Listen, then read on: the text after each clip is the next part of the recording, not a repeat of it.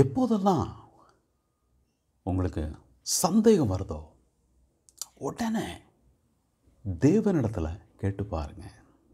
எப்போதெல்லாம் உங்களுக்கு சந்தேகம் வருதோ உடனே வேதத்தை கேட்டு பாருங்க.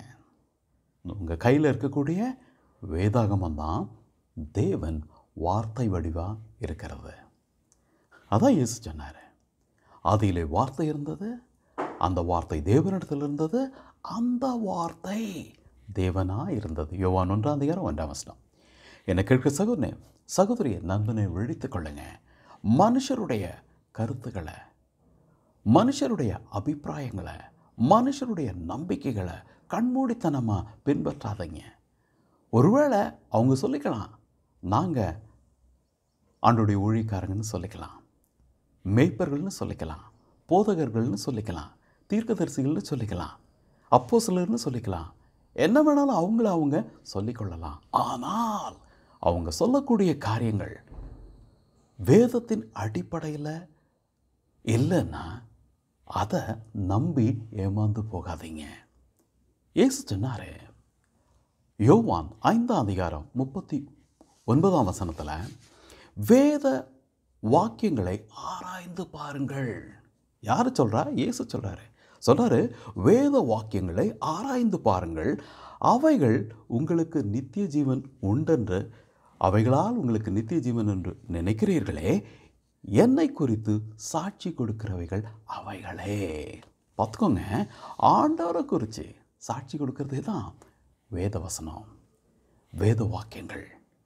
அப்போது நமக்கு நம்ம கேட்கக்கூடிய சத்தியத்தில் சந்தேகம் வரும்போது நம்ம என்ன செய்யணும்? வேதத்தை ஆராய்ந்து பார்க்கணும். ஏன்னு ஆண்டவர் சொல்றாரு. நீதிமொழிகள் பதினாறாம் அதிகாரம் பன்னிரெண்டாம் வசனம் இவ்விதமாக நம்மளை எச்சரிக்குது. ஆண்டவர் சொல்கிறாரு மனிதனுக்கு செம்மையாய் தோன்றுகிற வழி உண்டு. அதன் முடிவோ மரண வழிகள். மனிதனுக்கு செம்மையாய் தோன்றுகிற தோன்றுகிற தோன்றுகிற வழி உண்டு. அதன் முடிவோ மரண வழிகள். என்னை கேட்கிற சகோதரனே சகோதரிய நண்பனை விழித்து கொள்ளுங்க. கண்மூடித்தனமாக யாரையும் நம்பாதீங்க. கண்மூடித்தனமாக யாரையும் பின்பற்றாதீங்க. கண்மூடித்தனமாக மனுஷன் தன்னுடைய அபிப்பிராயத்தை தன்னுடைய கருத்தை தன்னுடைய நம்பிக்கையை நம்ம நம்பத்தக்க வழியில் அதை பேசும் பொழுது அதை கேட்டு ஏமாந்து போகாதீங்க அதை ஏற்றுக்கொள்ளாதீங்க அதை நம்பாதீங்க.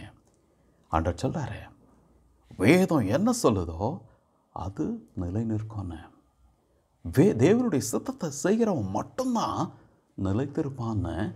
ஒன்றியவாம் ரெண்டாம் அதிகாரம் பதினேழாம் வசனத்தில் தெய்வன் சொல்கிறார் சொல்ல பாருங்க உலகமும் அதன் இச்சையும் ஒழிந்து போகும். உலகமும் அதன் இச்சையும் ஒழிந்து போகும்.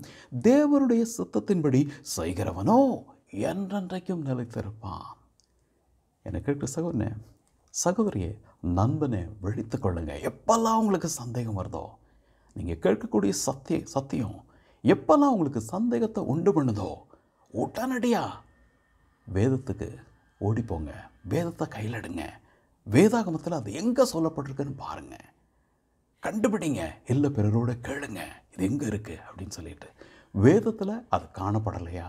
வேதத்தில் அது இல்லையா? தயவு செய்து அதை நம்பாதீங்க. அது உங்களை வஞ்சித்து போடும் உங்களை ஏமாற்றி போடும். என்ன கேட்குற சகோதரனே சகோதரியே நண்பனை ஆண்டவர் எச்சரிக்கிறாரு. ஆண்டவர் சொல்கிறார் ஈச சொல்கிறார் வேதா வேதத்தை ஆராய்ந்து பாருங்கன்னு. ஆண்டவர் சொல்கிறாரு மனுஷனுக்கு தோன்றுகிற செம்மையாய் தோன்றுகிற வழிகள் உண்டு. அதன் முடிவோ மரண வழிகள். அதே போல் ஆண்டவர் சொல்கிறாரு உலகமும் அதன் நிச்சயம் ஒழிந்து போகும். தேவனுடைய சித்தத்தின்படி செய்கிறவன் எவனோ அவன் நிலைத்திருப்பான். என்னை கேட்கிற சகோதரனே சகோதரிய நண்பனை விழித்துக் கொள்ளுங்க. கண்மூடித்தனமாக எல்லாவற்றையும் நம்பாதீங்க. நீங்கள் கேட்குற ஒவ்வொரு சத்தியத்தையும் கேள்வி கேளுங்க. கேள்வி கேளுங்க. வேதத்தில் அது எங்கே சொல்லப்பட்டிருக்குன்னு கேளுங்க. வேதத்தில் அது சொல்லப்பட்டிருக்கான்றதை கேட்டு ஒப்பிட்டு பாருங்கள் நீங்கள் கேட்ட சத்தியம் உண்மைதானா? இல்லையா? வேதத்தில் அது இருக்கா? இல்லையா? அது தேவனுடைய சத்தமா? அது இல்லையான்னு தெரிஞ்சு கொள்ளுங்க ஏன்? மனுஷனுக்கு செம்மையாய் தோன்றுகிற வழிகள் உண்டு. அதன் முடிவோ மரண வழிகள். என்னை கேட்கிற சகோதரனே சகோதரிய நண்பனை வெடித்துக் கொள்ளுங்க. வேதம் என்ன சொல்லுதோ அதை செய்யுங்க.